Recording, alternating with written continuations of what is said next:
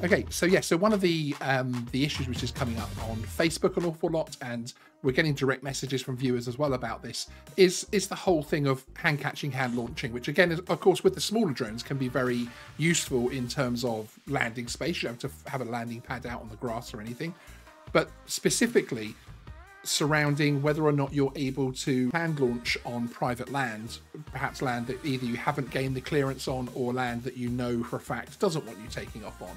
And it, it, it, to me seems like a fairly straightforward argument because of course people are saying i'm taking off from my hand so i'm not taking off from the land. But it isn't really as simple as that is it? No i mean you're right there in terms of there's obviously the now that the sub 250 drones don't really have that much in the way of distance offenses and things like that so you know you can fly those pretty much anywhere those are different kettle of fish if you like to open category and specific category flights so the general principle is that by taking off from your hand or you know hand launching or whatever you want to call it, that you're still accessing that land to do the flight from. It doesn't change how you're accessing the land. It just changes almost your sort of takeoff point. And you know, I would view it in the sense of if you're holding it, your legs are essentially an extension of the landing gear. Then wherever they touch the ground, that's what yes you deal with. And and we I would also refer to numerous um, uh, sort of police cases and things where they've been dealing with operators that I can cite that I'm aware of, uh, where they've taken the same view that you know, no matter what you're doing, you're still launching it from that piece of land that yes. you're standing on. Exactly. Just because you're not holding it doesn't you know.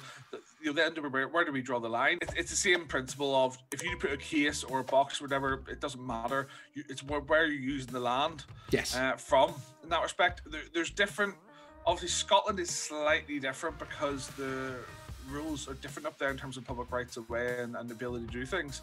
But again, the general principle as well. The public right of way thing is for walking. It's for access to land. It doesn't say you can conduct commercial activities yes. or anything from the yes, land. So indeed. It, it's all combined within that one argument.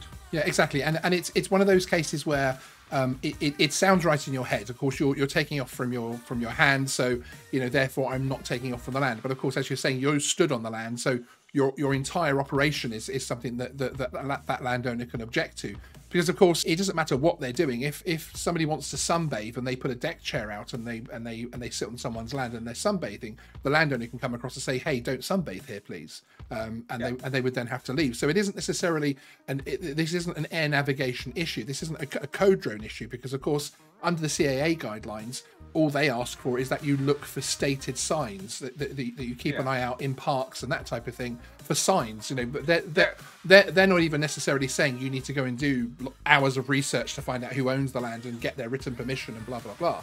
Um, it, it is so from an air navigation point of view from, from the air rules point of view this isn't effective but of course we are talking about the landowner's rights which are which are absolute in terms of use. To be clear to the viewers we're talking about hand launching from from any land really. Um, um, it, the, the, whether or not you're launching from your hand, from the roof of your car, from a landing pad, if, if you have the controller in your hand and you're operating, that is the point of takeoff essentially. Um, so um, um, you know, if, if someone asks you to move on, you're, you're going to have to move on and and of course it also means that if you are already aware before you go there that that, that landowner be it national trust or someone like that is is is certainly against you taking off there using the hand launch reason uh, or excuse isn't going to get you very far basically because um, yeah it, it, you, you, you are you are at worst going to be asked to be moved on basically. Because again most of these situations that is all that really happens. The the the landowner or the agent of the landowner will approach and say, "Hey, we don't allow drone flying here. Please stop and go away." Um, and then you do, of course. So we're not talking about a massive issue here, but this is something which gets repeated a lot on the uh, on Facebook and on social media, and it is something we're asked about an awful lot. So I thought it was worthwhile spending a couple of minutes clarifying the advice for people out there.